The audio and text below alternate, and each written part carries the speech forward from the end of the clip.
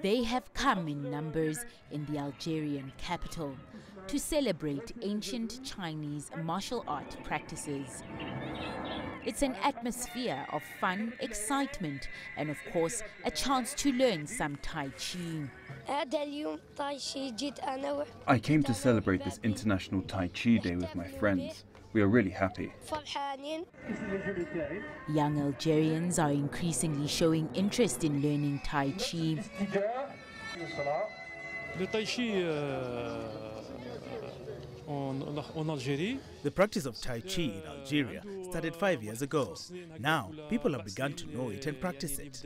People are aware of the benefits of Tai Chi, so they're very eager to learn. Tai Chi and Kung Fu have grown in this country. Many young people practice both forms for exercise and self-defense. Today we celebrate Tai Chi.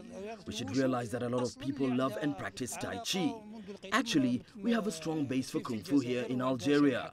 Algerians have won many awards in African Kung Fu Championships. We are happy there are so many people loving Kung Fu. The annual event is mainly held in eight countries across the world during the last Saturday of April. Thuli Shabalala, CGTN.